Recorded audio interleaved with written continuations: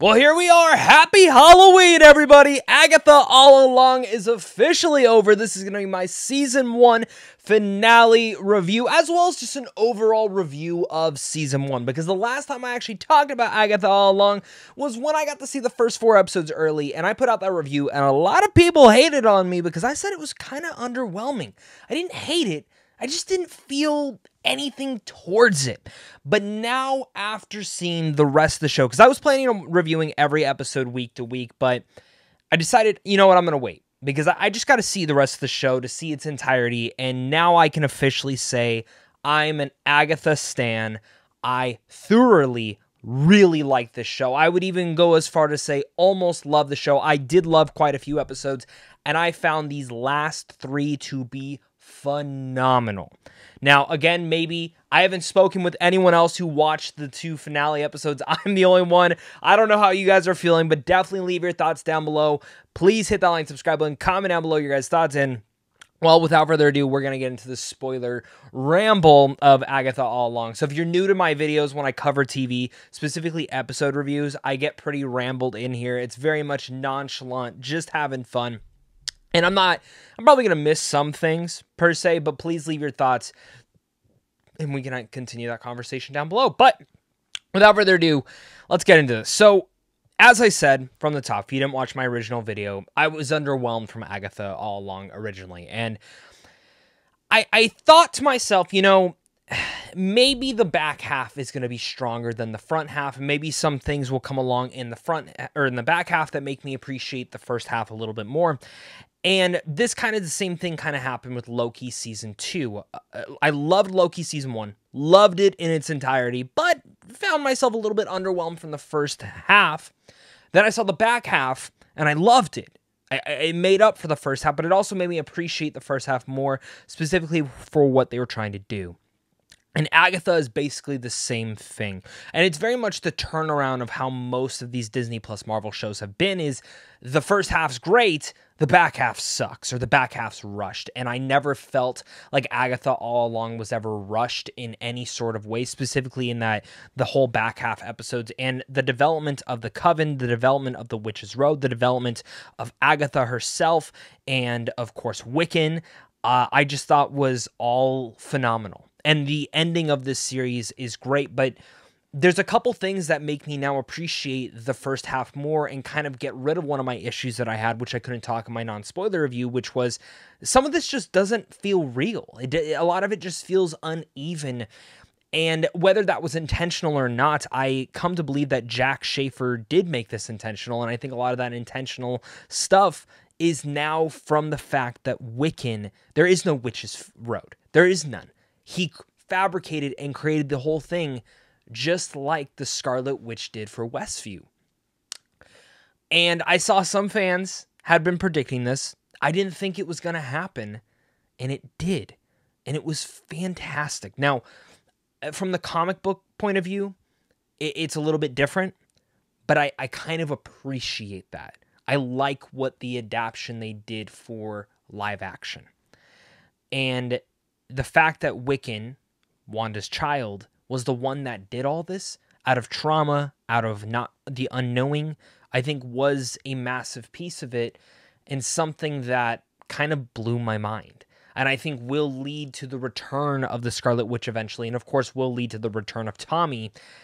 But I thought this was a fantastic, fantastic twist that makes you again look back at everything else that you'd already seen and seeing how it kind of comes about. And and what a shitty thing for Agatha. Like she first is under Wanda's curse, comes out of it, and then gets stuck under basically Wiccan's whole entire imaginary thing. Like that is amazing. But the thing that I loved is that she knew instantly.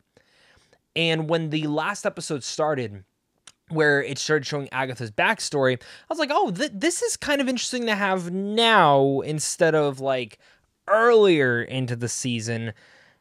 But it works. And it worked so wonderfully in the fact that it it never felt like it it hindered anything. It was like that final perfect thing for us to understand Agatha from one point of view, understand her relationship a little bit more depth.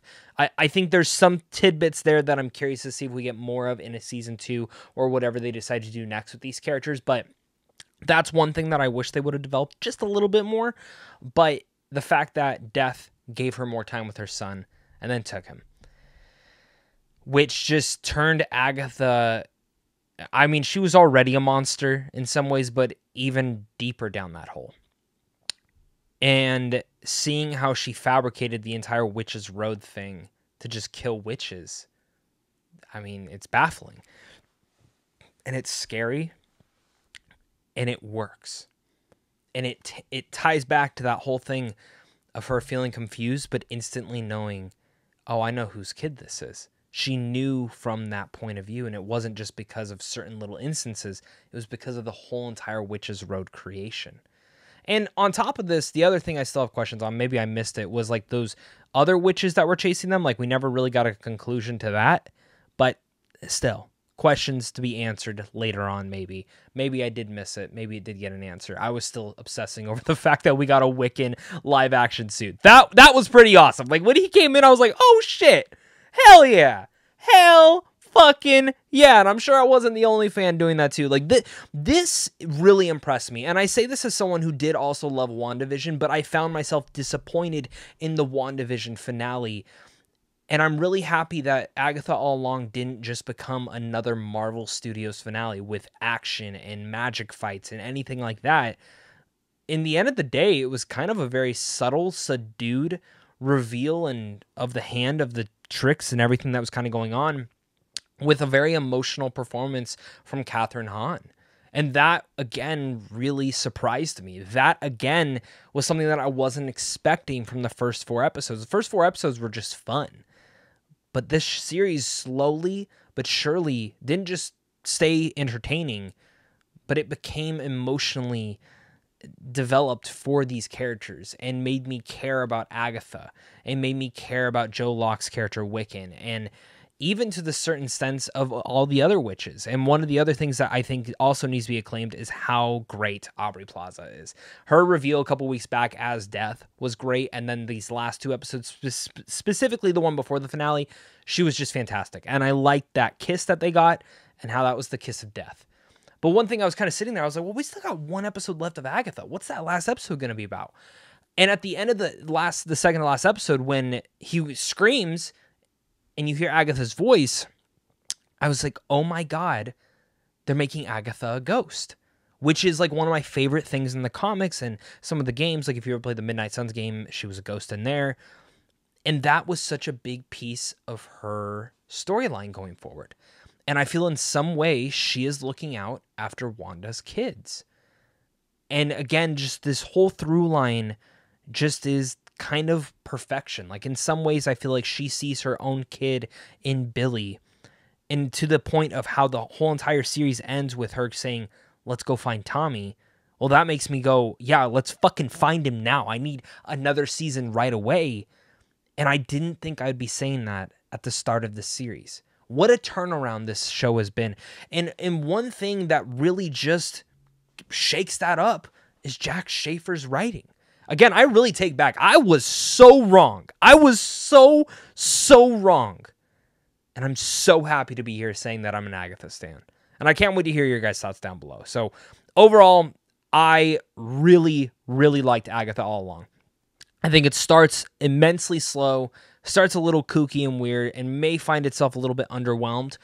But once I got to these last few episodes, it just started building and building and building with certain reveals that were predictable, but some that I did not see coming personally, and some that just made me go, holy shit, that was awesome.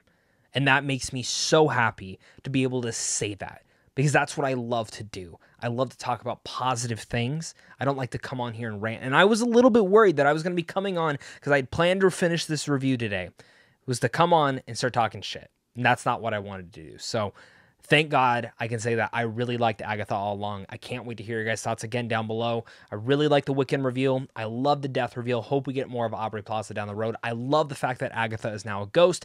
I love that now they're going to find Tommy. I love the whole backstory of Agatha and her son Nicholas. That kind of was really heartbreaking to me and almost honestly made me cry. Kathryn Hahn in that whole like mental asylum area with the light. That almost broke me. Like so many different little tidbits. And then of course, like I said, uh, Wiccan coming in in his full outfit was just fantastic. Um, the, everyone really won me over in the end of the day on this series, and yeah, I'm happy. So thank you guys so much again for watching. Make sure to hit that like, subscribe button. Can't wait to read your guys' thoughts, and of course, until next time, stay classy.